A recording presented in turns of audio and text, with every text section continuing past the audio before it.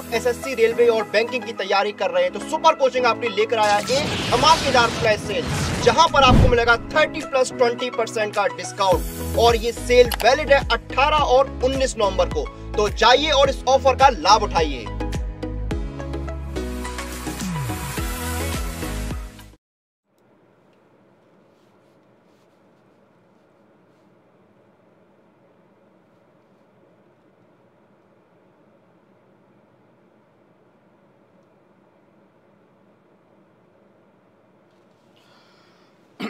Hello everyone very good morning welcome to Testbook super coaching for the bank exams कैसे हो आप सब लोग? जी हाँ आज काफ़ी सारे दोस्तों की हमारी एग्ज़ाम है, आज और कल में एस बी क्लर्क का। तो उन सबको ऑल द वेरी बेस्ट बढ़िया तरीके से पेपर दीजिएगा एग्ज़ाम दीजिएगा और सब कुछ आपको आता है। बस, एक लास्ट मोमेंट पे खुद के ऊपर कॉन्फिडेंस रखना बहुत ज़रूरी है और सही तरीके से क्वेश्चंस को चूज़ कीजिए and solve the paper exam analysis में मुलाकात होगी, बातचीत होगी डोंट वरी अबाउट दैट चलो तो सेशन के शुरुआत में कुछ क्वेश्चंस हमारे दोस्तों ने पूछे हुए थे, उसके आंसर मैं पहले कर देता हूँ। वो बहुत बढ़िया से क्वेश्चंस थे।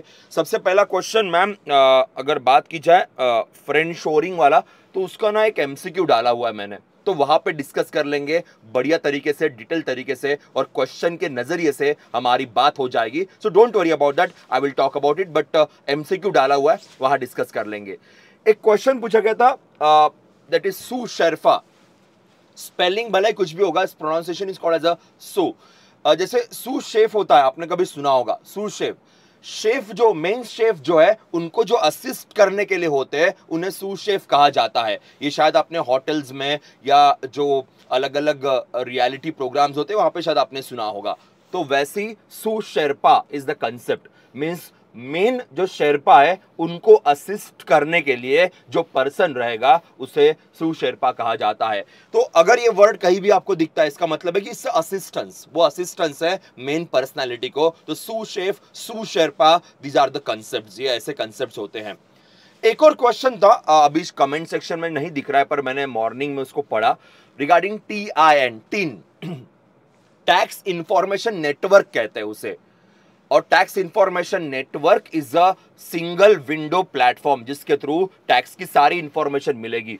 तो इनकम टैक्स का जो भी डेटा है, जो भी इनकम टैक्स आप फ़ाइल करते हो इनकम टैक्स रिटर्न आप फ़ाइल करते हो, वो सारा डेटा एक्सेस करने के लिए नेटवर्क क्रिएट किया गया है। So it's a single window system single window system का मतलब है, आपको 10 जगह 10 वेबसाइट 10 प्लेटफॉर्म पर जाने की ज़रूरत नहीं। सारी इंफॉर्मेशन इनकम टैक्स की वो टी आई एन के प्लेटफॉर्म से मिल जाएगी, जिसको हम लोग नॉर्मली कहते हैं टैक्स इंफॉर्मेशन नेटवर्क तो ऑब्वियसली उसका इनकम टैक्स के ऊपर इंपैक्ट होगा बिकॉज़ उसी के लिए उसे बनाया गया है, उसी के लिए उसे क्रिएट किया गया है. So it's kind of a platform kind of a website kind of a forum for income tax एक और क्वेश्चन था कि गोल्ड और यूएस डॉलर्स में क्या रिलेशन है?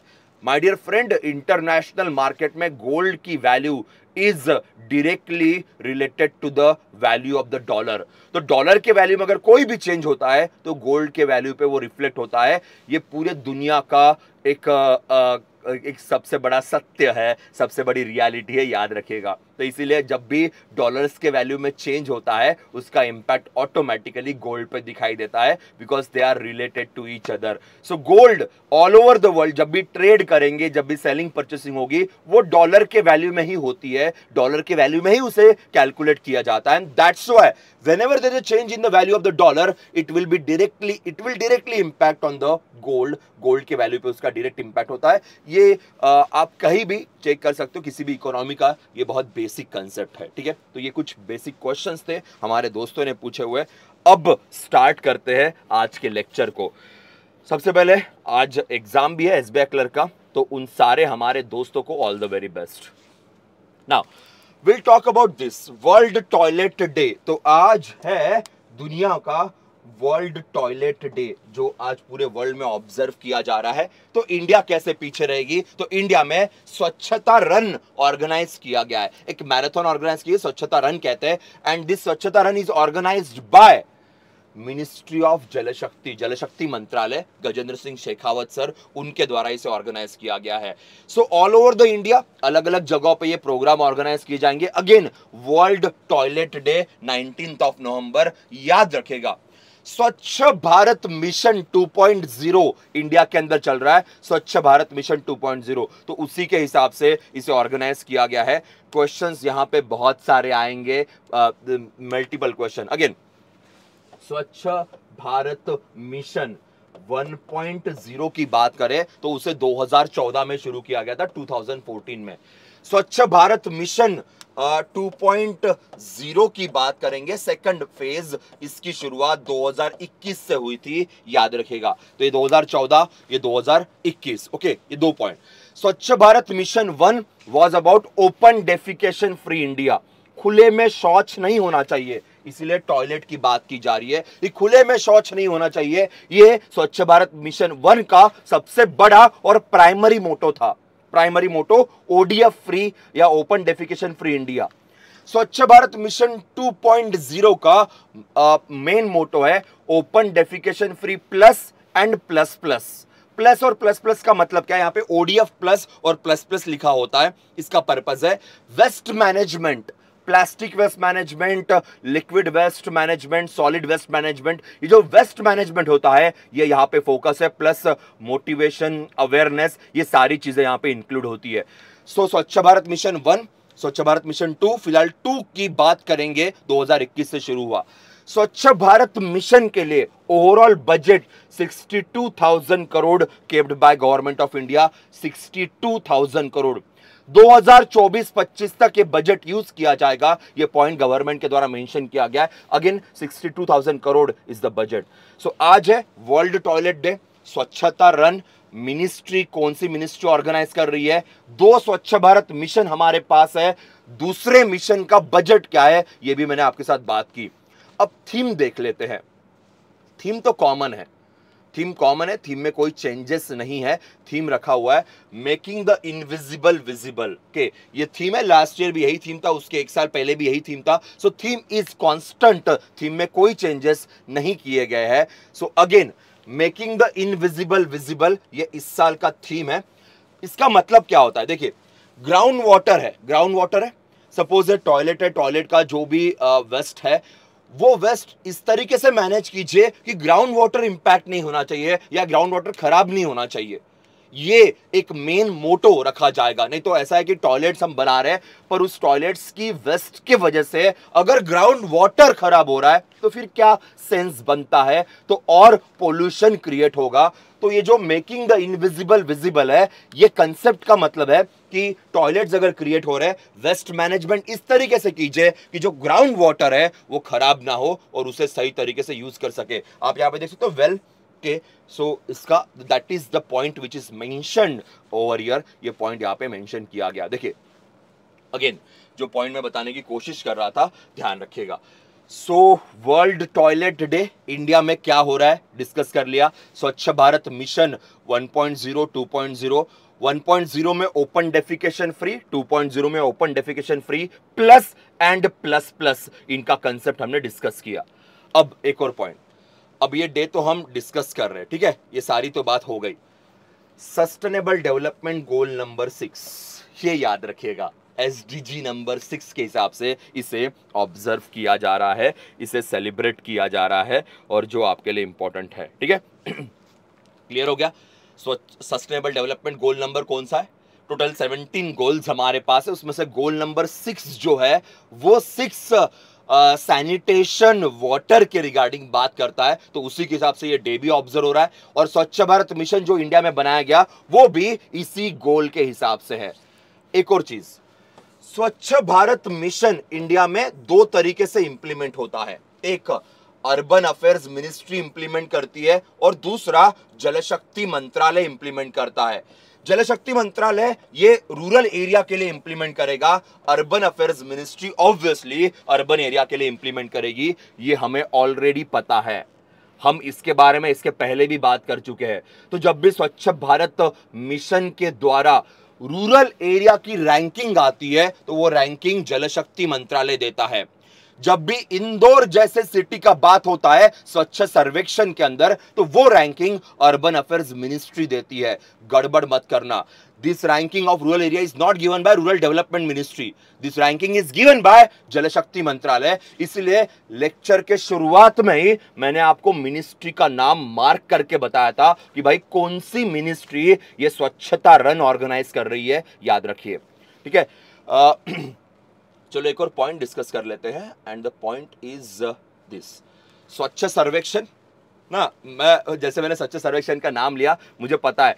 ये इससे आपको अलग मोहब्बत हो गई होगी। फटाफट फटाफट सबसे टॉप मोस्ट सिटी कौन सी है? आ, सबसे बॉटम सिटी कौन सी है? गार्बेज फ्री सिटी कौन सी है? ये बहुत सारी बात। है अच्छी बात है बिल्कुल याद होना चाहिए नो डाउट बट बट बस इसके भरोसे एग्ज़ाम नहीं होती है। ये भी समझिए इसके भरोसे एग्ज़ाम नहीं होती सिर्फ़ इन रैंकिंग के भरोसे।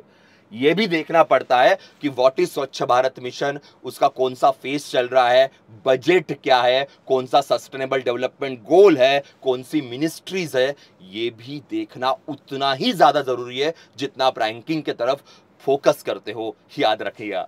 सो so, चलो top most city everyone knows Indore है देन सूरत है नवी मुंबई है देन वाइजैक है देन विजयवाड़ा या टॉप फाइव ये बॉटम सिटीज़ है। बॉटम सिटीज़ के ऊपर मैं इतनी बात नहीं करूँगा फ़िलहाल। Then less than one thousand sorry hundred thousand population की अगर बात की जाए तो वहाँ पे Panchgani which is in Maharashtra then Patan then Karad Lonavala and the Karjat so यहाँ पे छोटे सिटीज़ की बात करें तो महाराष्ट्र की टॉप फाइव में चार सिटीज़ है और एक सिटी छत्तीसगढ़ की है। सो स्मॉल सिटीज़ की बात की जाए तो ये रैंकिंग है। बड़े सिटीज़ की बात करें तो ये रैंकिंग है। आजकल ना एग्जामिनर एग्जामिनर वैसे पहले से स्मार्ट है कि हमसे स्मार्ट तो एग्जामिनर होते हैं no doubt about that examiner को पता है, बच्चे ये रट के जाते हैं, रट के जाते हैं। तो एग्जामिनर ये पूछता है कि बेटा छोटे सिटीज़ में टॉप मोस्ट कौन है, बता दे। फिर वहाँ पे 60 परसेंट स्टूडेंट ऐसे गायब हो जाते हैं। बिकॉज़ जो हेडलाइन थी वन लाइनर था, वो तो हमने रट लिया। अंदर क्या लिखा था, उसमें तो हमें बहुत जान पे आ रहा था, हमें बड़ा बोर हो रहा था।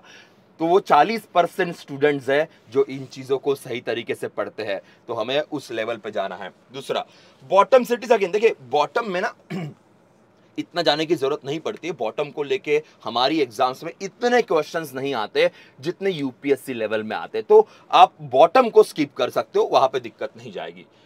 अरे हाँ एक रह गया यार।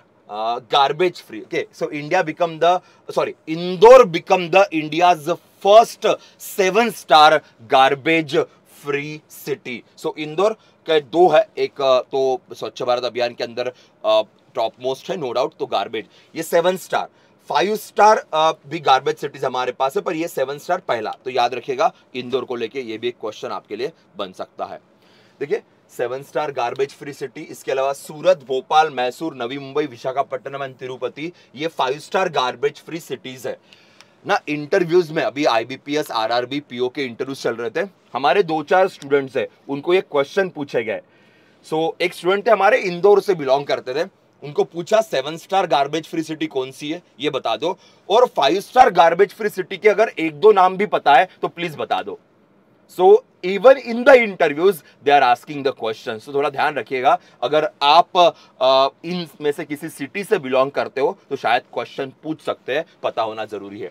दूसरा नाउ क्लीनेस्ट स्टेट सबसे क्लीन स्टेट कौन से हैं? So Madhya Pradesh state more than hundred urban local bodies Madhya Pradesh सबसे टॉप में आ रहा है छत्तीसगढ़ सेकंड प्लेस में आ रहा है के एंड थर्ड पे महाराष्ट्र आ रहा है। that is a point. Less than 100 lo uh, local bodies so tripura emerge as the cleanest state Jharkhand Uttarakhand second and third spot respectively तो बड़े स्टेट्स की बात करें तो मध्य प्रदेश uh, सबसे टॉप में जाएगा छत्तीसगढ़ सेकंड नंबर पे महाराष्ट्र थर्ड पे। छोटे स्टेट्स की बात करें त्रिपुरा झारखंड एंड उत्तराखंड इनकी रैंकिंग आती है। अब जाते रूरल के रैंकिंग में। ये अर्बन की रैंकिंग थी। जो भी रैंकिंग हमने अभी तक डिस्कस की, वो अर्बन की रैंकिंग थी। अभी रूरल की रैंकिंग एंड द रूरल की ranking is given by Jal Shakti मंत्रालय गजेंद्र सिंह शेखावत साहब। So top three states and UTs Telangana सबसे टॉप में, हरियाणा सेकंड नंबर पे, तमिलनाडु थर्ड नंबर पे। छोटे स्टेट्स या यूटीज की बात करें तो अंडमान निकोबार, दादरा नगर, हवेली, सिक्किम। तो ये रूरल एरिया का रैंकिंग है। रूरल में स्टेट में सबसे top most state Telangana, Haryana, Tamil Nadu.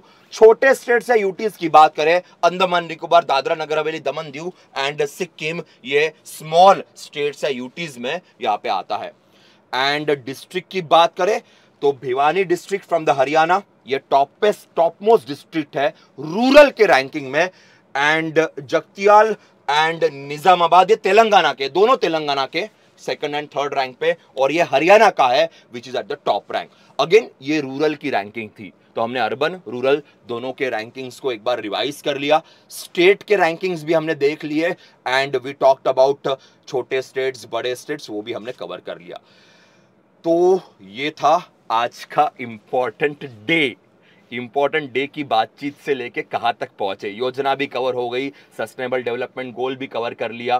Theme तो देखते ही है, उसमें कोई दिक्कत नहीं। इंडिया में कौन सा प्रोग्राम ऑर्गेनाइज किया गया, इस टॉयलेट डे को ध्यान में रखते हुए, वो भी बात कर लिया और प्लस कुछ रिविजन वाला पॉइंट था, वो भी कवर कर लिया। ये इंपॉर्टेंट डेज़ जो इस मंथ में होते, उसका एक थोड़ा सा लिस्ट यहाँ पे देख सकते हो। आप एक बार गो थ्रू कर लीजिएगा। चलो।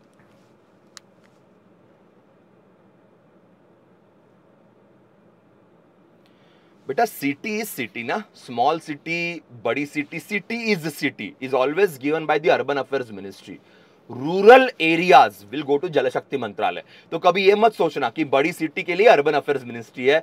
देखो दोस्त, मैंने आपको लास्ट टाइम भी बताया था। हमारे पास हंड्रेड स्मार्ट सिटीज़ डेवलप करने का प्रोग्राम है। वो भी अर्बन अफेयर्स मिनिस्ट्री इंप्लीमेंट करती है। छोटे सिटीज़ को डेवलप करने के लिए अमृत नाम की योजना है, वो भी अर्बन अफेयर्स मिनिस्ट्री इंप्लीमेंट करती है। तो फिर छोटी सिटी हो या बड़ी सिटी हो, के will go to the urban affairs ministry rural areas की जब बात की जाएगी then it will go to the Jal Shakti मंत्रालय for the ranking and for other stuff ठीक है? सो याद रखिएगा। और रूरल एरियाज़ की रैंकिंग ना ऐसे नहीं आती, उसकी डिस्ट्रिक्ट वाइज रैंकिंग आती है, जो मैंने अभी आपको बताई थी। ठीक है? कौन सा डिस्ट्रिक्ट सबसे टॉप में आएगा? चलो एनीवेज कल होमवर्क दिया था मैंने नॉर्थ ईस्ट के स्टेट्स की कैपिटल्स प्लस उनके सीएम और उनके गवर्नर्स के नाम के तो ये नॉर्थ ईस्ट के स्टेट्स है के सिक्किम को भूलना नहीं है। केवल सेवन सिस्टर्स सेवन सिस्टर्स करते बैठते हैं और ये रह रह जाता है के तो इसको नहीं भूलना है, ये भी उतना ही इंपॉर्टेंट है। तो चलो, ये तो यहाँ पे सबके कैपिटल्स लिखे हुए एक लिंक मैंने डाली है, उस उस फ़ोटो के ऊपर ना एक लिंक है, बड़ी खूबसूरत सी लिंक है। अगर आपको कभी भी लगता है कि इंडिया के सीएम इंडिया के गवर्नर्स के या स्टेट के गवर्नर्स के नाम या स्टेट के सीएम्स के नाम नहीं पता, या कहीं पे शायद रॉन्ग इन्फॉर्मेशन है, इस वेबसाइट पे चले जाना। यहाँ पे सारे गवर्नर्स के नाम अप टू डेट होते हैं। अप टू डेट की अगर आपको एग्ज़ाम्पल देखना है तो ये देख लीजिए। वेस्ट बंगाल के सो यहाँ पे आपको सारे नाम अप टू डेट मिल जाएँगे। इंडिया के सारे स्टेट्स के गवर्नर्स इंडिया के यूटीज के लेफ्टिनेंट गवर्नर इंडिया के आ, आ, जितने भी मिनिस्टर्स है सारे मिनिस्टर्स के नाम यहाँ पे आपको दिखाई देंगे। So every information is here सारी इंफॉर्मेशन यहाँ पे। डैम एवरीथिंग सो इसकी लिंक जानबूझ के डाल के रखिए। So whenever you feel कि यार कहीं पे शायद गलत इन्फॉर्मेशन है, शायद गूगल पे नहीं मिल रहा है, क्योंकि गूगल पे करते ना तो पुरानी इन्फॉर्मेशन विकीपीडिया पे कई बार ओल्ड इन्फॉर्मेशन होती है।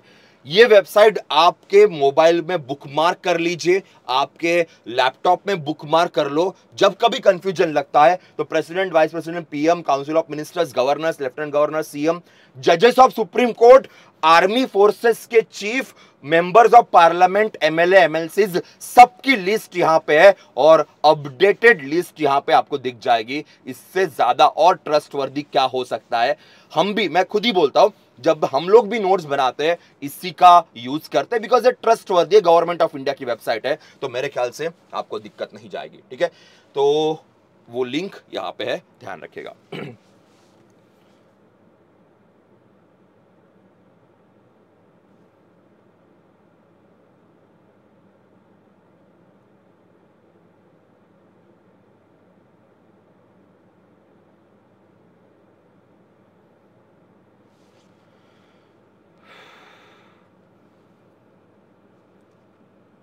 बेटा, वहाँ पे क्या लिखा था?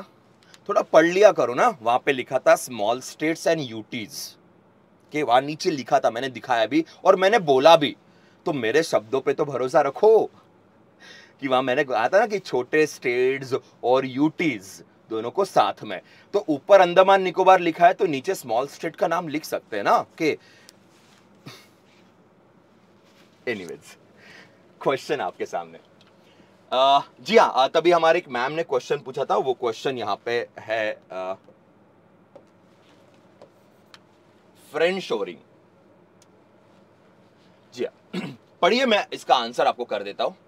It is a strategy where a country procure goods and promote trade only if the other country share common value of the procuring country it could further enable the globalisation process so what can be the answer? चलो answer पे आ जाते हैं। मैं directly answer पे आता हूँ। Answer is one ठीक है?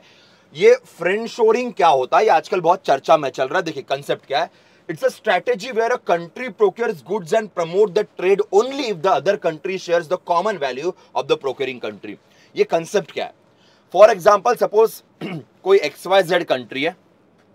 वो उसी कंट्री से रिलेशन रखेगी अगर वो कंट्री इनके माइंडसेट को फॉलो करती है। फॉर एग्ज़ाम्पल मैं एग्ज़ाम्पल देता हूँ। से रशिया बेलारूस। ये दोनों एक ही माइंडसेट रख रहे इसलिए इनका रिलेशन अच्छा चल रहा है।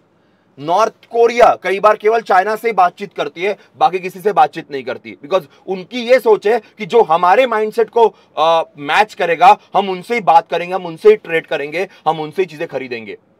दिस इज़ वेरी डेंजरस ना ये बहुत डेंजरस है बिकॉज़ ये ग्लोबलाइजेशन के अगेंस्ट जा रहा है। It is going against the globalisation globalisation का मतलब क्या होता है? हर कंट्री का अपना माइंडसेट हर कंट्री के गवर्नमेंट का अपना माइंडसेट अलग रहेगा। पर हमें बिज़नेस करना है। फॉर एग्ज़ाम्पल सपोज़ कल अगर इसराइल के पीएम चेंज हो गए और वो पीएम शायद आ, इतना ब्रॉड माइंडसेट नहीं रखते जितने नेतन्याहू साहब रखते हैं। तो क्या हम रिलेशन तोड़ देंगे? नहीं। कल अगर बाइडेन साहब की जगह वापस ट्रंप साहब आ गए क्या हम रिलेशन तोड़ देंगे? नहीं। तो ये जो है ना फ्रेंड शोरिंग ये कंसेप्ट क्या बताता है कि अगर आपका माइंडसेट सेम है तो ही आप बिज़नेस करोगे अदरवाइज़ बिज़नेस छोड़ दोगे। ऐसा नहीं होता है। ऐसा, कल अगर सपोज़ इंडिया में गवर्नमेंट में कुछ चेंजेस हो गए तो क्या बाकी कंट्रीज़ हमसे रिलेशन तोड़ देगी? नहीं। Trade is trade relation is relation so friend shoring is very dangerous for globalisation क्योंकि उसमें छोटे छोटे ग्रुप बन जाते हैं दो दो कंट्रीज़ अपना अलग से काम करती है। तो इसीलिए बातचीत चल रही थी कि ये जो कंसेप्ट आज के डेट में बहुत चल रहा है, बहुत आज तो आजकल तो बहुत चर्चा में चलता ही है कि ये कंट्री का अपना अलग ग्रुप चल रहा है, वो कंट्री की अपनी अलग प्यार मोहब्बत चल रही है। So it is a friend shoring and which can harmful for the globalisation वसुधैव कुटुंबकम की हम लोग बात करते हैं। इंडिया करता है ना वसुधैव कुटुंबकम? और वसुधैव कुटुंबकम के अंदर अगर हम छोटे छोटे फ्रेंड शोरिंग करते हैं तो फिर क्या मतलब? इसलिए डब्ल्यू बार बार कहता है। डब्ल्यू का कंसेप्ट बड़ा अच्छा है कि भाई पूरी दुनिया को एक ही तरीके से ट्रीट कीजिए। अगर उसमें आप अलग अलग छोटे छोटे ग्रुप बनाओगे तो it can be very dangerous so that is the concept here यही कंसेप्ट यहाँ पे so answer is one one यहाँ पे आंसर है। सेकंड यहाँ पे रॉन्ग है। ना with reference to united nation population fund consider the following statement united nation population fund को लेके क्वेश्चन है. Which of the following statement is correct कौन सा स्टेटमेंट करेक्ट है?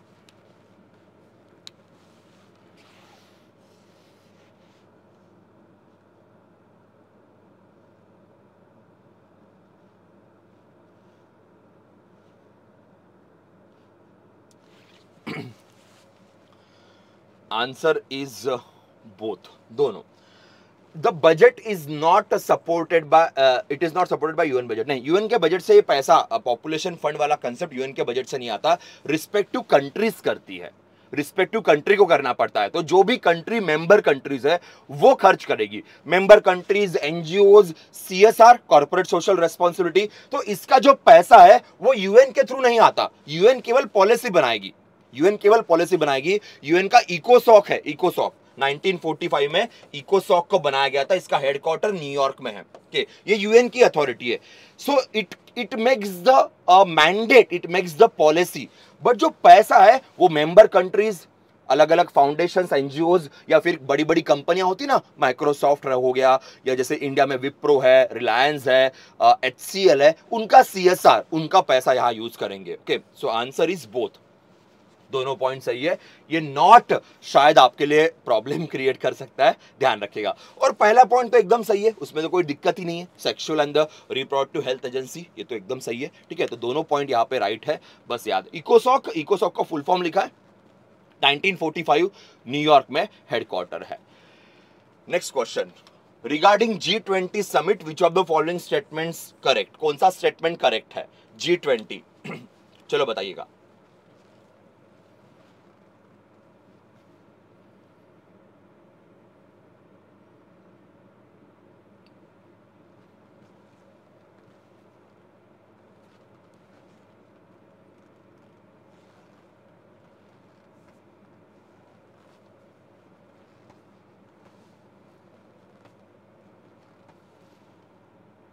सारे के सारे स्टेटमेंट रॉन्ग है।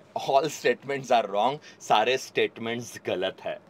80 percent of not the world population 80 percent of world GDP हम जीडीपी बोल सकते हैं not the population population 65 percent के आसपास का है 80 percent of the GDP not the population के सारे स्टेटमेंट्स रॉन्ग है। Iran Bangladesh Nepal are not the part of G twenty इनको इन्वाइट किया गया है।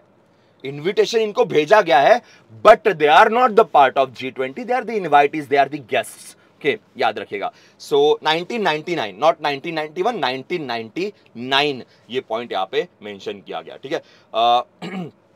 It aims to promote the new world order led by the western country ये ये ला, ये लास्ट वाला पॉइंट गलत है. Not by the western countries नहीं ऐसा कुछ नहीं है. यस न्यू वर्ल्ड को प्रमोट करना है but led by the western country ये रॉन्ग स्टेटमेंट बन जाता है. ठीक है?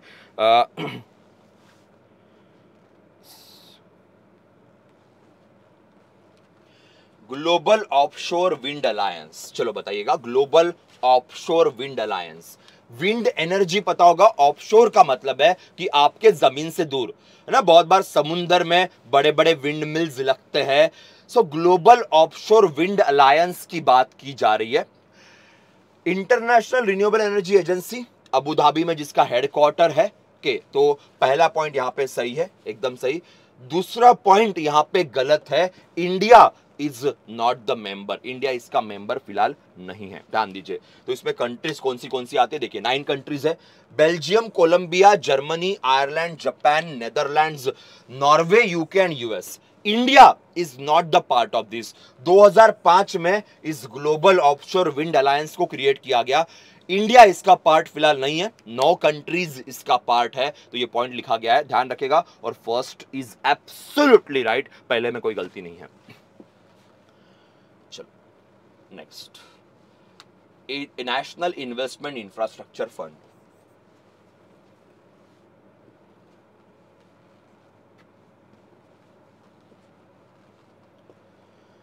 चलो बताइए, कुछ दिनों पहले डिस्कस किया था हमने एनआईआईएफ की हमारी बात हुई थी। If you remember we talked about this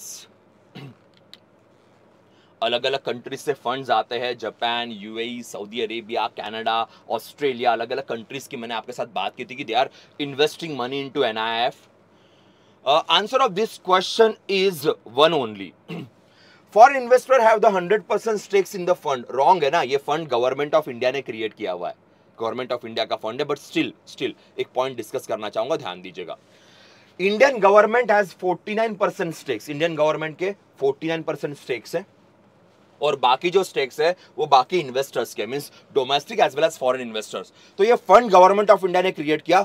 इस फंड के 49 परसेंट शेयर गवर्नमेंट के पास है।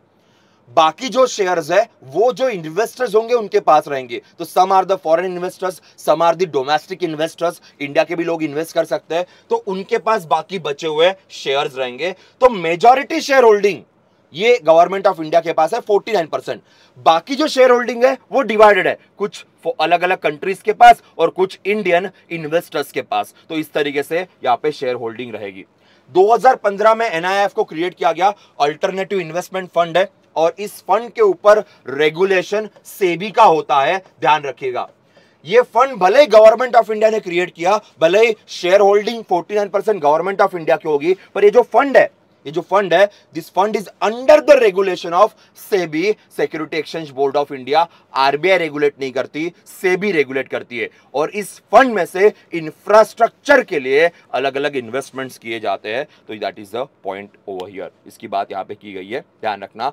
ये जो नेशनल इन्वेस्टमेंट इंफ्रास्ट्रक्चर फंड है it works with the help of finance ministry finance ministry के अंडर ये फंड काम करता है, ये सिनारियो काम करता है। ध्यान रखिएगा। क्वेश्चंस यहाँ पे बहुत सारे आते हैं। कितना कैपिटल यहाँ पे है।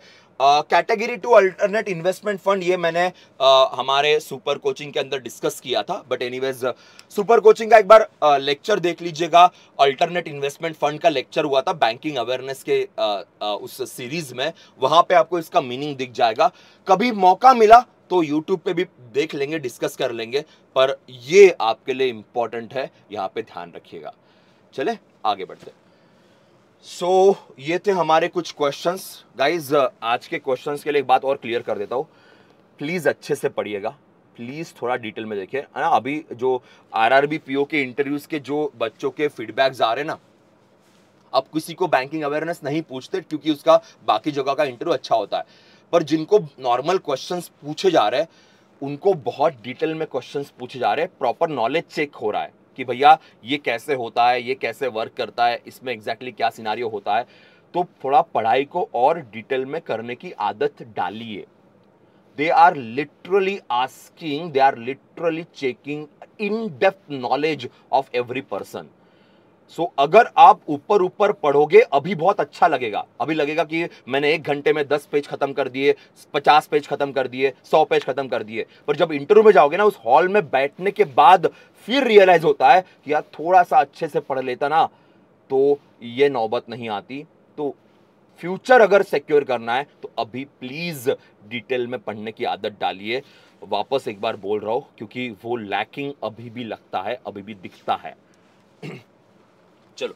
सुपर कोचिंग में इसीलिए फ्लैश सेल ऑर्गेनाइज किया गया है। आज आखिरी दिन है, आपको एक्स्ट्रा 35 परसेंट ऑफ़ मिल जाएगा अगर आप ये कोड यूज़ करते हो तो। So don't forget to use this code SSC banking railway तीनों एग्ज़ाम एक साथ आपको पढ़ने का मौका मिलेगा।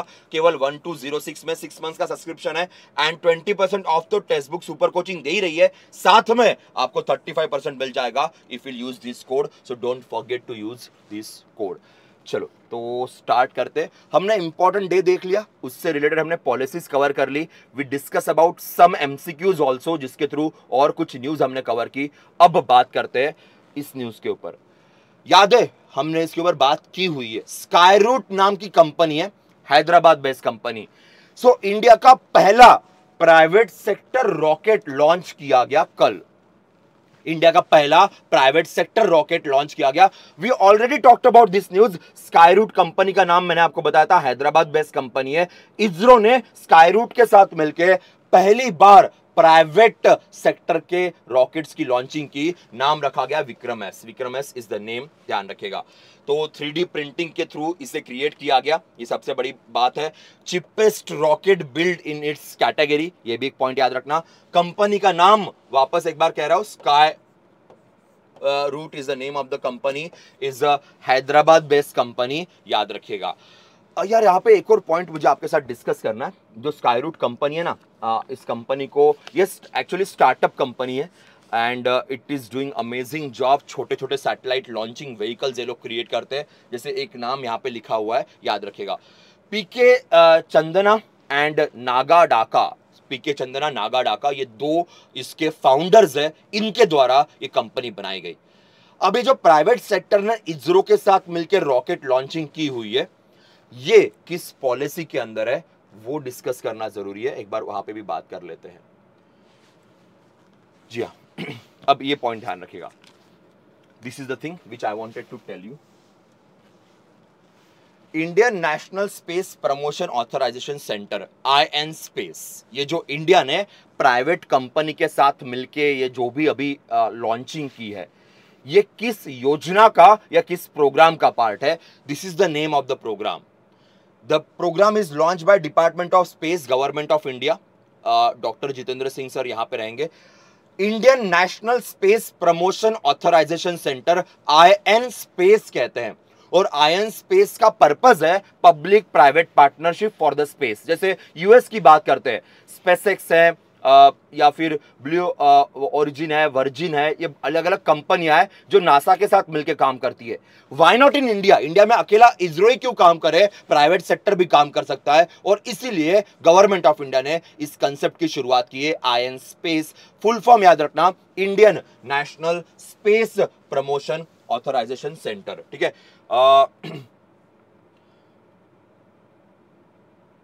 काम करते हैं। इसका हेडक्वार्टर पहले देख लेते the headquarter is in Ahmedabad के अहमदाबाद में हेडक्वार्टर है। It's not Bhopal it's Bhopal के नहीं तो जल्द जल्द में भोपाल पढ़ लोगे फिर कहोगे भोपाल अहमदाबाद में कैसे आ गया? It's Bhopal okay is the name of the area Ahmedabad के अंदर इसका हेडक्वार्टर है। ध्यान रखना ठीक है? Again a very very important दिक्कतें बहुत सारी कभी कभी हो जाती है। Yes yes uh, so government of India created this programme इसी साल इसको लॉन्च किया गया वैसे। इसी साल इसका इस प्रोग्राम का लॉन्चिंग है। हेडक्वार्टर कहाँ पे? Uh, वो भी पॉइंट हमारा डिस्कस हो गया है। So let's go to the next news जी हाँ। नेक्स्ट न्यूज़ बड़ी इजी है। यहाँ दिक्कत नहीं जाएगी आपको। National Museum, New Delhi and the Kolding Museum, Denmark will open the silver treasures from Denmark, India in March next year. 2023 में आ, हमारा नेशनल म्यूज़ियम और डेनमार्क का नेशनल म्यूज़ियम मिला के एक silver treasurers from Denmark India नाम का एक एग्जीबिशन रख रहे हैं। ये एग्जीबिशन डेनमार्क में भी होगा ये एग्जीबिशन इंडिया के अंदर भी रहेगा। तो silver silver as a commodity तो सिल्वर के अलग अलग आर्टिफैक्ट्स जमाने से जो चल रहे हैं सिल्वर जो करेंसीज में यूज़ किया गया या फिर ऑर्नामेंट्स में यूज़ किया गया दोनों कंट्रीज़ में इसका एग्जीबिशन है। दैट्स इट नथिंग मोर ये पॉइंट यहाँ पे याद रखिएगा। नेशनल म्यूज़ियम की बात करें तो 1949 में इंडिया में नेशनल म्यूज़ियम क्रिएट किया गया न्यू दिल्ली में 1949 मिनिस्ट्री ऑफ़ कल्चर के अंदर ये अथॉरिटी आती है। वहाँ पे, वहाँ उनके मिनिस्ट्री के अंदर किशन रेड्डी सर मिनिस्टर है, उनके अंदर ये काम करता है। डेनमार्क की capital Copenhagen, currency is krone, currency उनकी क्रोने है, प्राइम मिनिस्टर मैटी फ्रेडरिक्सन, उनका भी फ़ोटो यहाँ पे डाल के रखा हुआ है। That's the point regarding this news इतना इनफ रहेगा। चलो, एक काम करते हैं। डेनमार्क का लोकेशन एक बार देख लेते हैं मैपिंग एक बार कर लेते हैं। जी हाँ again this is a North Sea ये नॉर्थ सी का पार्ट है। This is a Baltic Sea North Sea Baltic Sea ऊपर नॉर्वे है नॉर्वे इज़ हियर और यहाँ पे ये स्वीडन है नॉर्वे स्वीडन और यहाँ पे डेनमार्क है. सो डेनमार्क इज़ हियर नीचे uh, यहाँ पे अगर आप देखते हो तो जर्मनी सो so, डेनमार्क और जर्मनी का uh, जो बॉर्डर है जुड़ा हुआ है. और प्लस यहाँ पे uh, इनका बॉर्डर जुड़ा हुआ है with Sweden so Sweden Denmark यहाँ पे जर्मनी डेनमार्क यहाँ बगल में नेदरलैंड है. So this is the Denmark जिसकी बात मैं कर रहा था. That's it from this news बाकी तो इजी है.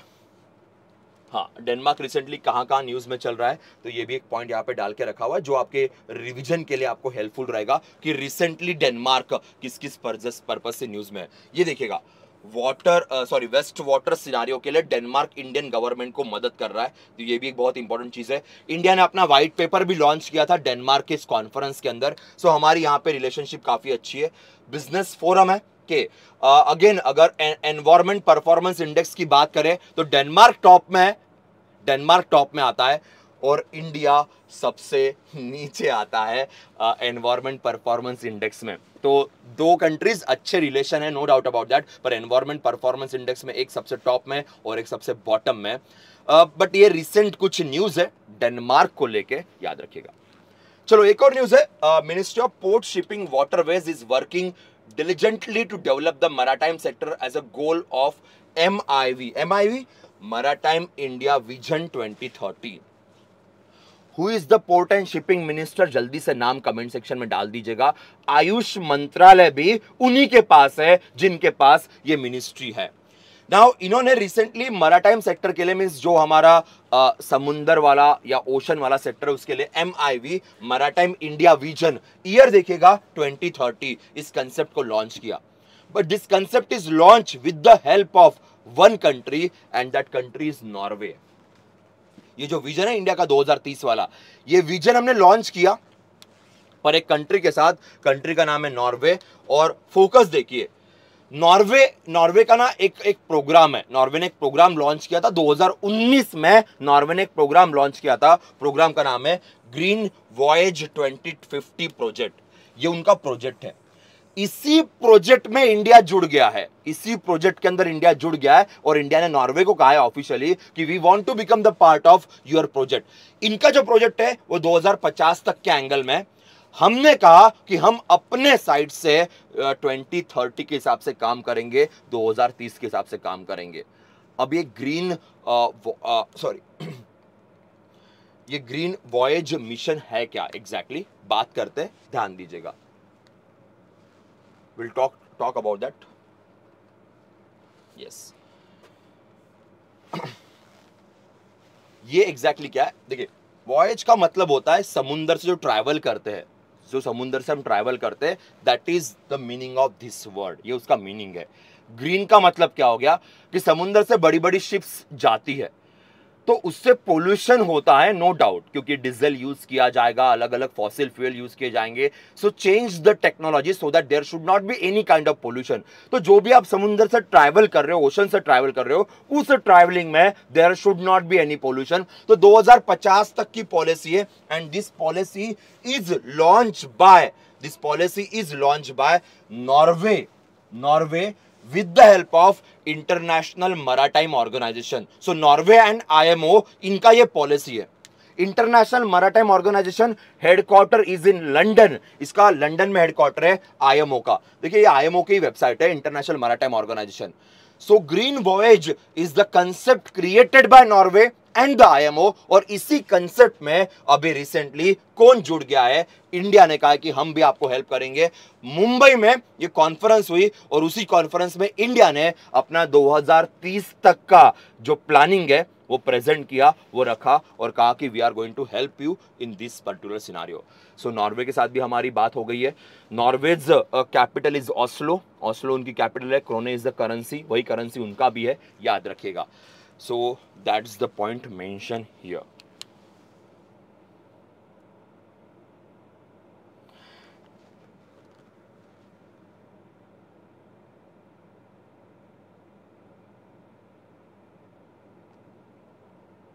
Clear नहीं दिख रहा? है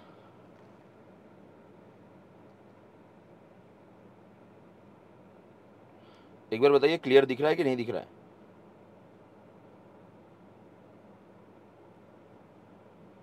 ओके हाँ वाइट पेपर क्या होता है? देखिए वाइट पेपर का मतलब होता है such kind of document which will give you a recommendation which will give you advice which will give you a planning उसे वाइट पेपर डॉक्यूमेंट कहते हैं। सो वाइट पेपर डॉक्यूमेंट कभी भी जब प्रेजेंट करेंगे, वो पार्लियामेंट में प्रेजेंट कर सकते हैं।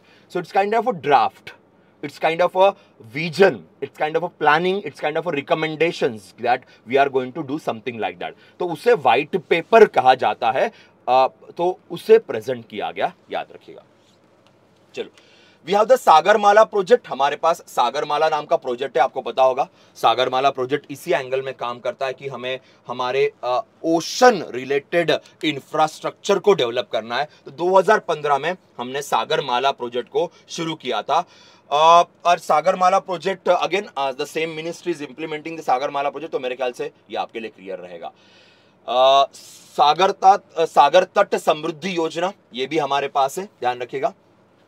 सागर माला के अंदर सागर तट समृद्धि योजना। सागर तट का मतलब जो हमारा कोस्टल एरिया है, उसको समृद्ध करने के लिए और उसी योजना के साथ ये मैराटाइम इंडिया विजन 2030 को इंसाइड हो रहा है। उसका बजट देख लीजिएगा। सो, एस्टिमेट कॉस्ट गवर्नमेंट ने निकाल कर रखी है, three lakh sixty two thousand crore. बस वही है कि कोस्टल इंफ्रास्ट्रक्चर डेवलप करना है कोस्टल एरियाज़ में इंडस्ट्रीज़ को डेवलप करना है कोस्टल एरियाज़ में आ, बाकी भी चीज़ों को इकोनॉमिकल एंगल में डेवलप करना है। साथ में एनवायरमेंट मेंटेन करना है। इसीलिए नॉर्वे के साथ हमारी बातचीत हुई। नॉर्वे के साथ हमारा डिस्कशन हुआ जो मैंने आपके साथ बात की ठीक है? तो योजना भी यहाँ पे बात की गई है ध्यान रखिएगा। India Australia fifth bilateral cyber policy dialogue another dialogue मैंने आपको कल भी बताया था कल के लेक्चर में कि यार ये ना जब नवंबर दिसंबर आता है बहुत सारी कॉन्फ्रेंसेस बहुत सारी समिट्स बहुत सारे कांग्रेस बहुत सारे डायलॉग्स ऑर्गेनाइज किए जाते हैं. So first we talked about the Norway Norway की बात हुई. कल भी हमने uh, अलग अलग स्कैंडिनेवियन कंट्रीज़ का डिस्कशन किया था. अब यहाँ पे ऑस्ट्रेलिया ऑस्ट्रेलिया की कैपिटल क्या है? जल्दी कमेंट सेक्शन में डाल दीजिए और ऑस्ट्रेलिया के प्राइम मिनिस्टर कौन है? जल्दी से कमेंट सेक्शन में डाल दीजिएगा। तब तक न्यूज़ के ऊपर बात करते हैं। The fifth bilateral cyber policy dialogue in New Delhi 2018 से इन डायलॉग्स की शुरुआत हुई है। और ये डायलॉग अभी रिसेंटली ऑर्गेनाइज किया गया। It was in New Delhi cyber security के लिए क्या किया जाए? बाकी इनफ रहेगा। बस इसमें याद रखना, दो मिनिस्ट्रीज इन्वॉल्व है। एक हमारी information technology ministry because cyber security की बात हो रही है तो वो तो आएगा। दूसरा, Ashwini Vaishnaw sir information technology minister है। दूसरी ministry home affairs ministry Amit Shah साहब की मिनिस्ट्री साइबर सिक्योरिटी ना सिक्योरिटी की बात होगी तो ऑब्वियसली होम मिनिस्ट्री का भी रोल रहेगा। तो इस कॉन्फ्रेंस में इंडिया की तरफ़ से दो मिनिस्ट्रीज ने पार्टिसिपेट किया। बाकी अलग अलग इंस्टीट्यूशन थी, पर मिनिस्ट्रीज दो थी, एक इंफॉर्मेशन टेक्नोलॉजी मिनिस्ट्री और दूसरी होम मिनिस्ट्री याद रखिएगा अगेन यहाँ पे एक बार बात करते हैं। जी हाँ Anthony Albanese Canberra Australian dollar तो ये बेसिक पॉइंट है। प्लस ऑस्ट्रेलिया रिसेंटली इंडिया के रिगार्डिंग कहाँ कहाँ पे न्यूज़ में था, ये भी चीज़ यहाँ पे मेंशन की गई है। The new prime minister of Australia एक और चीज़ मैं बोलना शायद आपको भूल गया। नेक्स्ट जो मीटिंग रहेगी साइबर सिक्योरिटी वाली इंडिया ऑस्ट्रेलिया वाली it will be in Australia वो ऑस्ट्रेलिया के अंदर होने वाली है। नेक्स्ट डायलॉग वो ऑस्ट्रेलिया के अंदर रखा जाएगा। ये भी पॉइंट मेंशन किया गया है। देखिए द नेक्स्ट नेक्स्ट डायलॉग जो रहेगा it will be in Australia that's it हाँ बाकी तो क्लियर है इस न्यूज़ में? Okay okay. चलो, यहाँ पे आते हैं। Cambridge dictionary gave the word of the year इन्होंने वर्ड ऑफ़ द ईयर दिया और इनका वर्ड ऑफ़ द ईयर ये बवाल क्रिएट कर रहा है। इनका वर्ड ऑफ़ द ईयर है homer sorry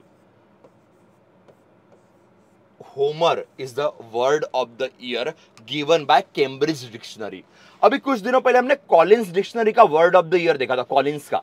ये कॉलिंस डिक्शनरी का वर्ड ऑफ़ द ईयर था कि called as a permacrisis permacrisis का मतलब है कि जो लॉन्ग टर्म इंस्टेबिलिटी है, अभी ना यूक्रेन रशिया वॉर की बात कर रहे हैं तो it is it created instability it created a danger which is extended और बढ़ गया और एक्सटेंड हो गया। उस सिचुएशन को प्रेमा क्राइसिस कहता है कि extended instability extended insecurity is called as this ये कॉलिंस डिक्शनरी ने दिया हुआ वर्ड ऑफ़ द ईयर है। और ये जो वर्ड है, अब यहाँ पे आते हैं होमर पे। This word is given by Cambridge dictionary अब होमर का मतलब क्या है? पहली बात तो होमर ऐसा कोई ऑफिशियल वर्ड था ही नहीं, है ही नहीं actually there is nothing something like that okay फिर ये वर्ड आया कहाँ से? There is something called home run home run एक कंसेप्ट होता है जो एक गेम है जिसमें होम रन ये वर्ड यूज़ करते हैं that word is use in baseball baseball में वर्ड यूज़ करते हो होम रन तो उस होम रन को होमर होमर होमर ऐसा कहा जाता है। बेसबॉल में, बेसबॉल कभी देखा आपने? वो एक लकड़ी जैसी बैट होती है, उससे बैटर बॉल मारेगा के फिर आपका अगर पूरा एक रन कवर हो जाता है तो उसे आपने होम रन कहते हैं कि आपने पूरा एक रन कवर कर लिया। उनको इस तरीके से ट्राइंगल में दौड़ना पड़ता है तो आपने पूरा रन कवर कर लिया तो उसे होम रन कहते हैं। तो उसी होम रन को न्यू जनरेशन होमर होमर कहती है कि you completed something, you completed something, you achieve something. So that is called homer पर एक्चुअल ऐसा वर्ड नहीं होमर नाम के एक ग्रीक ऑथर भी है। बहुत पुराने जमाने के ग्रीक ऑथर भी है होमर नाम के। तो ये होमर जो वर्ड है, वो बहुत बार सर्च किया गया, बहुत बार उसको देखा गया, बहुत बार उसके बारे में पढ़ा गया। इसलिए कैम्ब्रिज डिक्शनरी ने इसे वर्ड ऑफ़ द ईयर घोषित कर दिया। इसलिए लोग बड़े गुस्सा हो गए कि जो एक्चुअल वर्ड है ही नहीं, आपने उसे वर्ड ऑफ़ द ईयर बोल दिया। क्यों? क्योंकि लोगों ने उसे सर्च किया। तो लोग कुछ भी सर्च करेंगे तो क्या आप उसे वर्ड ऑफ़ द ईयर बोल सकते हो? It can be very debatable topic पर कैम्ब्रिज ने कहा कि नहीं, ये वर्ड ऑफ़ द ईयर है तो है तो ध्यान रखिएगा दिस इज़ द होमर वाला कंसेप्ट ठीक है? ये कहाँ से जनरेट हुआ? Home run is the name baseball में यूज़ करते हैं। होमर नाम के एक बड़े फ़ेमस साहित्यिक भी है राइटर भी है ग्रीक माइथोलॉजी के अंदर। और होमर का अगर मीनिंग ही डिस्कस करना है तो उसका मीनिंग ये होगा कि जैसे होम रन का मतलब है you completed the complete run you completed the whole run तो बस वही concept you completed something in a stipulated time में आपने कुछ चीज़ कंप्लीट कर दी, बस उसी को कह सकते हैं।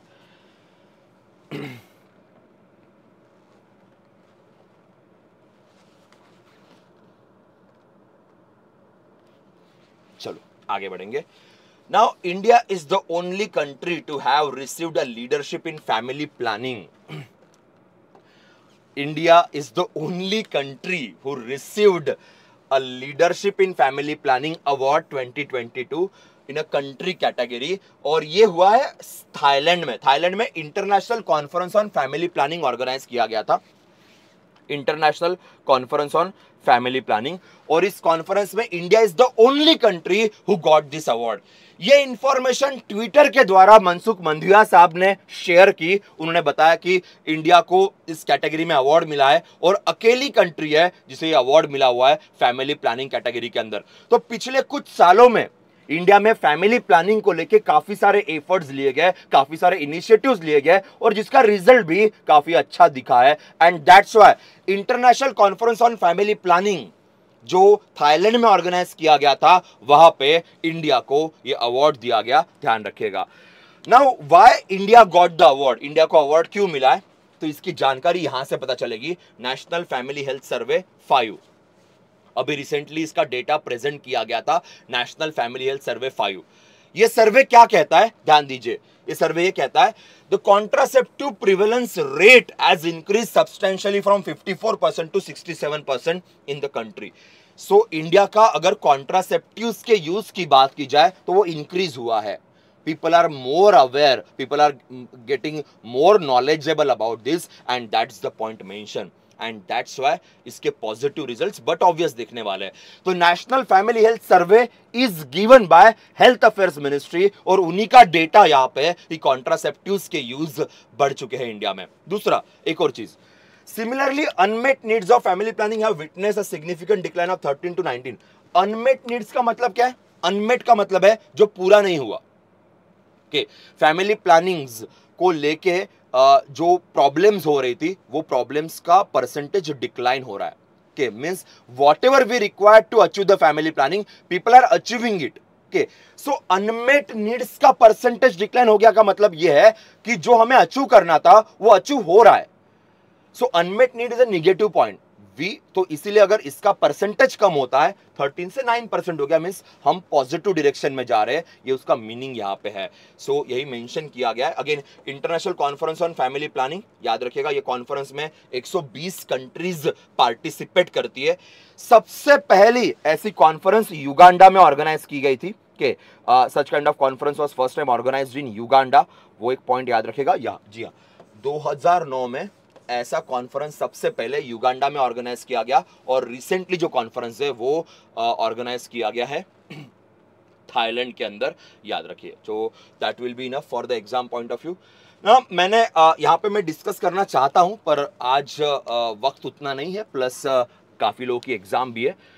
हम इसके ऊपर बात करेंगे बिकॉज़ हमारी एग्ज़ाम के लिए ये भी पॉइंट इंपॉर्टेंट है। नेशनल फैमिली हेल्थ सर्वे मैं जिस सर्वे की बात करता सर्वे नंबर फाइव वो सर्वे के ऊपर क्वेश्चन आते हैं दोस्तों कि कितनी परसेंट महिलाओं को एनेमिया है आ, इंडिया में किस तरीके से किस किस डिज़ीज़ के प्रॉब्लम्स चल रहे हैं इंडिया का हेल्थ सिनारियो किस तरीके से आगे बढ़ रहा है या कहीं पर डिक्लाइन हो रहा है।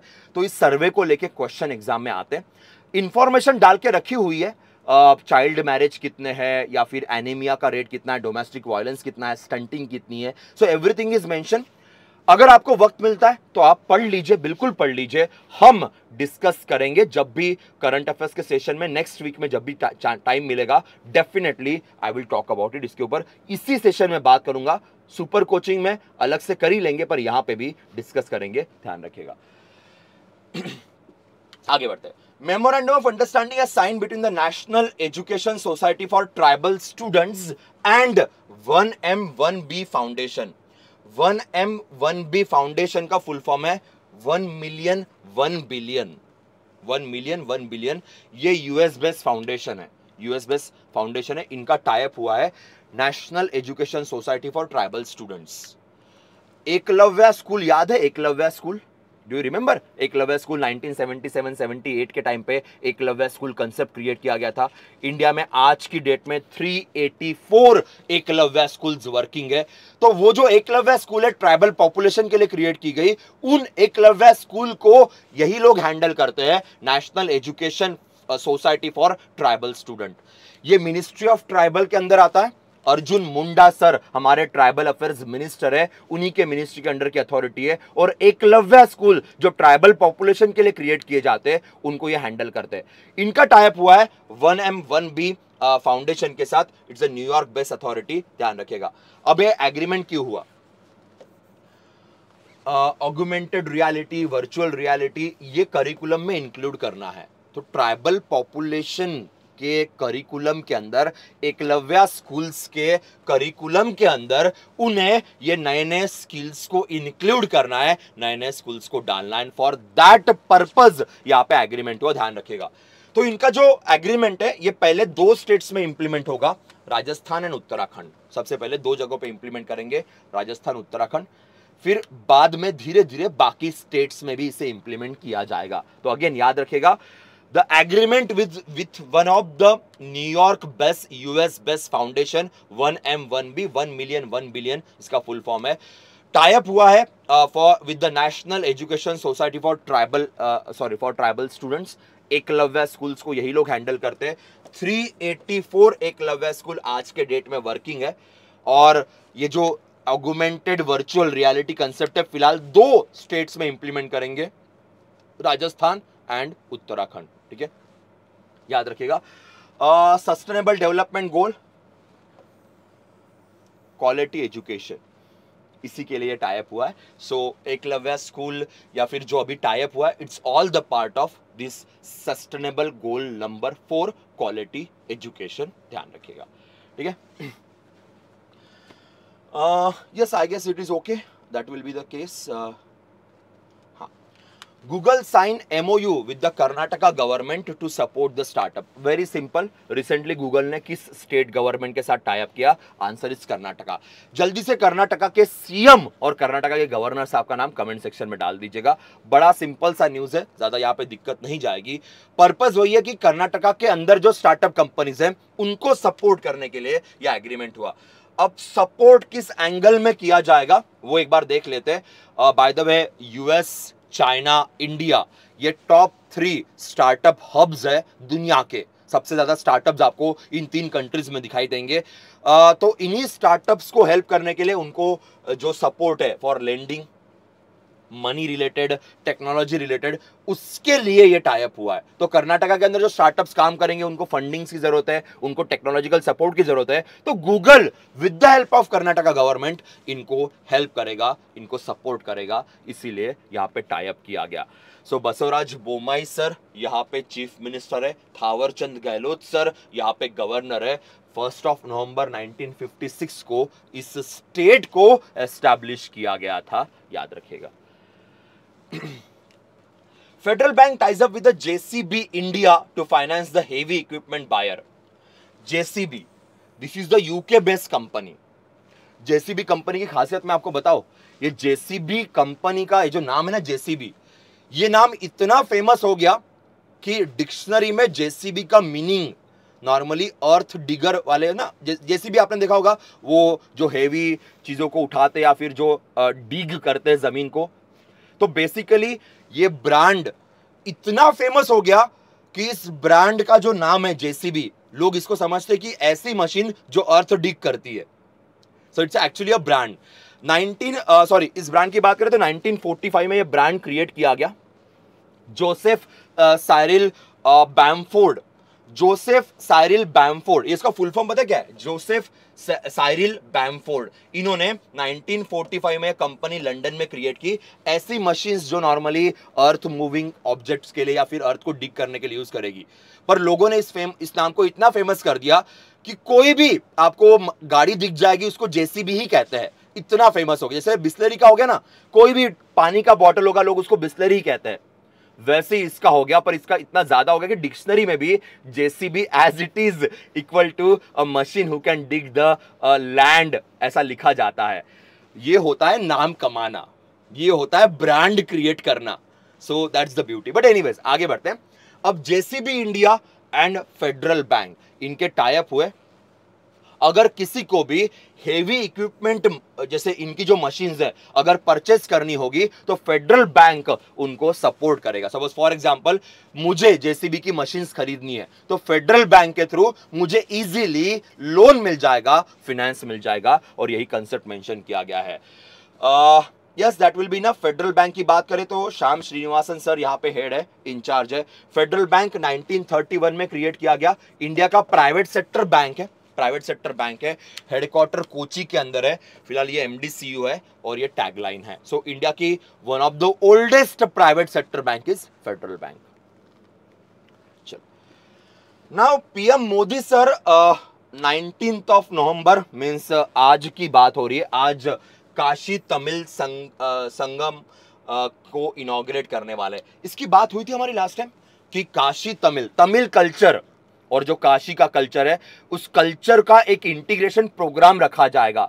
तो मोदी साहब इस प्रोग्राम को आज इनोग्रेट करने वाले हैं। तो हमने बात की थी इसको लेके कि हमारे साउथ इंडिया का कल्चर भी बड़ा ही ओल्ड है, बड़ा ही पुराना है। वैसा ही नॉर्थ इंडिया का भी कल्चर काफ़ी स्ट्रांग है। तो इन दोनों कल्चर को मिला के एक फ़ंक्शन ऑर्गेनाइज किया जा रहा है। बनारस हिंदू यूनिवर्सिटी के एमपी थिएटर के अंदर और इसीलिए इसको मोदी साहब इनोग्रेट करेंगे। दैट्स इट कहाँ पे ऑर्गेनाइज हो रहा है? बस इतना याद रखना, बनारस हिंदू यूनिवर्सिटी के उस एमपी थिएटर के अंदर। That will be the case again ये आने वाले समय का बहुत बड़ा डिस्कशन का पॉइंट होने वाला है।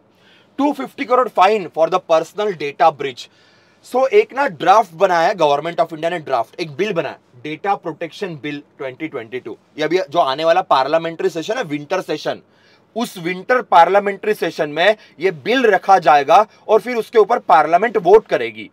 तो नया लॉ इंडिया में आ रहा है डेटा प्रोटेक्शन को लेके।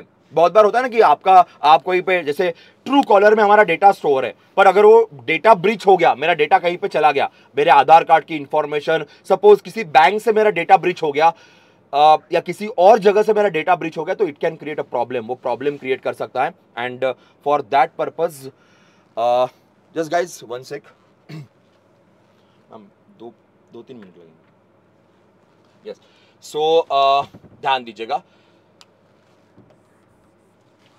यस सो पेनल्टी की बात यहाँ पे करेंगे. So so, 250 crore penalty will be there 250 crore की पेनल्टी यहाँ पे लगने वाली है. एक और चीज़ सबसे पहली बार इंडिया में हो रही है और वो बहुत काबिल तारीफ़ है। पहली बार इंडिया के ड्राफ्ट में इंडिविजुअल को शी या हर के तरह नोट किया गया। ये क्या पॉइंट है? देखिए, ये वाला पॉइंट बहुत मैटर करेगा। मैं आपके साथ डिस्कस करता हूँ, फिर लेक्चर को रोकना पड़ेगा बिकॉज़ किसी और दूसरे फैकल्टी का यहाँ पे सेशन है। ध्यान दीजिएगा। नॉर्मली जब हम लिखते हैं ना, किसी भी इंडिविजुअल के बारे में तो हम ही हीज ऐसा लिखते हैं।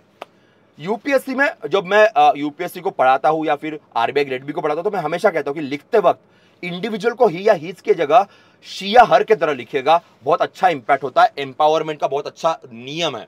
और कई सारे ऑफिसर लिखते हैं। अब गवर्नमेंट ऑफ़ इंडिया भी ऑफिशियली अपने डॉक्यूमेंट में, वो जो मेल शैवनिज्म था, उसको हटा रही है। और जब इंडिविजुअल्स को लिखेंगे तो शी या हर के एंगल में लिखा जाएगा और इसकी शुरुआत इसी बिल से की गई है। ये राजू चंद्रशेखर जो हमारे मिनिस्टर साहब है इन्होंने इंफॉर्मेशन दी है। तो इंडिया में officially we started doing this which is a very good concept काफ़ी अच्छा कंसेप्ट है और काफ़ी काबिल तारीफ़ है। ध्यान रखेगा सॉरी uh, दोस्तों यहाँ पे रुकना पड़ेगा। और भी बहुत सारी न्यूज़ थी।